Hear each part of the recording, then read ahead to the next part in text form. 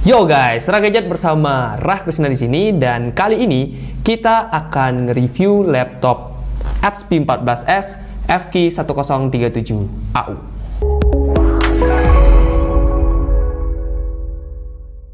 Sebagai pembuka, HP 14S FK1037AU ini dulu dirilis di harga 12 jutaan pada tahun 2021. Dan sekarang, kita sudah bisa menemukan laptop ini di marketplace Tokopedia atau Oren dengan harga hanya sekitar 9,2 jutaan. Yaps, cuan banget bukan? Pertanyaannya, apakah laptop keluaran tahun 2021 performanya masih oke untuk 2023? Atau jangan-jangan udah kalah saing sama laptop keluaran terbaru di harga 9 jutaan. Untuk menjawab hal itu, mari kita review aja laptop ini.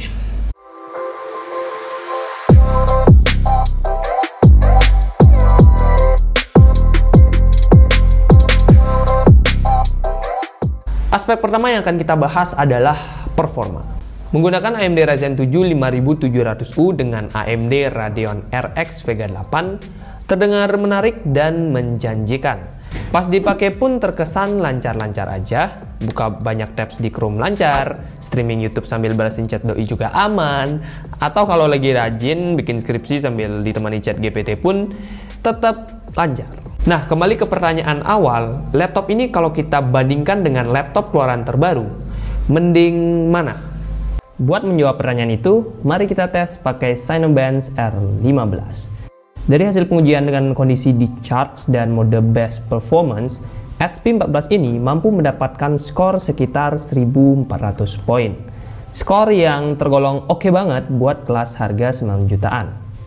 Bahkan kalau kita bandingkan dengan laptop keluaran terbaru, HP 14S ini masih bisa bersaing bahkan sedikit lebih unggul dibandingkan laptop-laptop terbaru tahun ini. Tapi kencang aja nggak cukup karena jadi percuma kalau panas dan performanya nggak stabil. Jadi mari kita uji hingga 10 kali pengulangan. Hasilnya stabil. Skor yang didapat masih berkisar di 1300-an dan setelah 10 kali pengulangan pun suhu yang didapat masih tergolong aman, masih di bawah 90 derajat Celcius. FYI, kalau masih di bawah 90 derajat Celcius masih dibilang aman. Gimana? Udah mulai kejawab kan? Bang, berarti panas banget dong. Secara kan ini 90 derajat Celcius. Nggak gitu konsepnya, Bapak. Jadi 90 derajat itu itu adalah suhu yang ada di mesinnya. Tapi suhu yang ada di permukaan itu tentu jauh di bawah 90 derajat. Jadi apakah manajemen suhu dari laptop ini tergolong oke? Jawabannya betul. Hal yang sama juga kita temukan pas menguji kecepatan SSD-nya. Nah, dari pengujian tadi kita sudah mulai tahu nih, ternyata dari segi skor Cinebench tergolong cukup tinggi, rendering juga aman dan skor SSD-nya juga tergolong cukup cepat. Artinya, apakah laptop ini bisa dipakai bermain game? Jawabannya adalah tergantung. Tergantung game apa yang mau dimainin. Kalau game ringan kayak Valorant atau Genshin masih bisa berjalan lancar. Kalau game triple A kayak Far Cry 6 sih bisa aja sih. Bisa bikin emosi maksudnya. Jangan coba-coba lah ya, nanti yang ada bukannya have fun kita malah makin kesel. Jadi mending main game-game yang santai aja. Kui Valorant. Ya kecuali kalau gabut sih, pengen tes kesabaran. Silahkan. Overall, performa dari HP 14S ini sudah bisa banget dihandalkan Bahkan kalau dibandingin dengan laptop 9 jutaan keluaran terbaru yang sejenis, laptop ini sedikit lebih unggul. Opsi upgrade juga lengkap.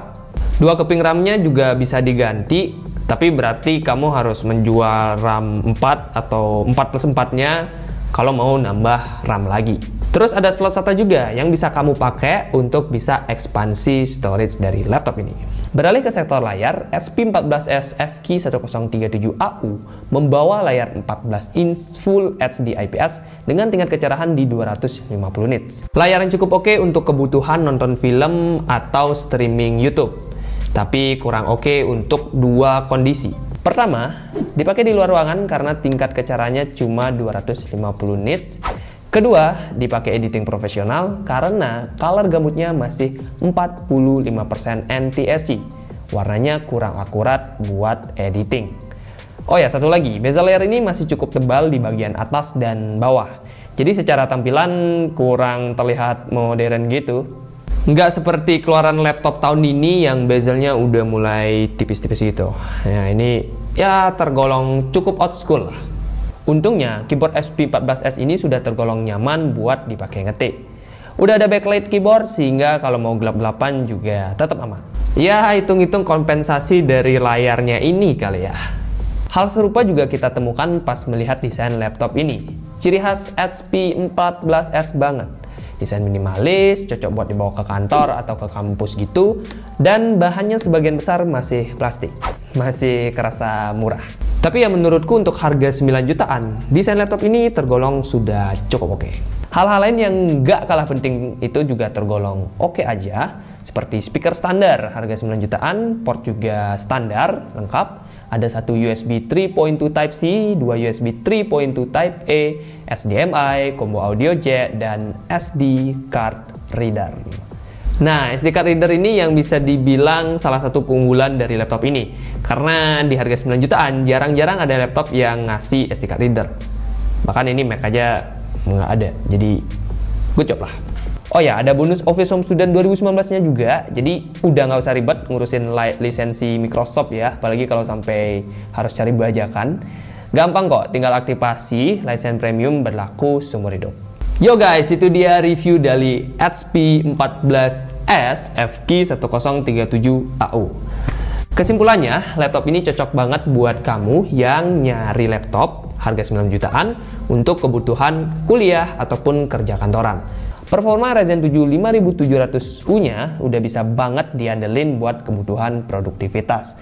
Tapi, laptop ini nggak cocok buat kamu para hardcore gamer. Ya, kalau itu sih udah jelas ya, beli laptop gaming dan para editor profesional, soalnya layarnya masih kurang. Oke, sekian review dari Rah Gadget. Like kalau kamu suka, dislike aja kalau nggak suka, dan kita ketemu di konten selanjutnya. Tapi nggak ngebahas ini sih. Kembali ke konten review, rekomendasi. Oke, ciao.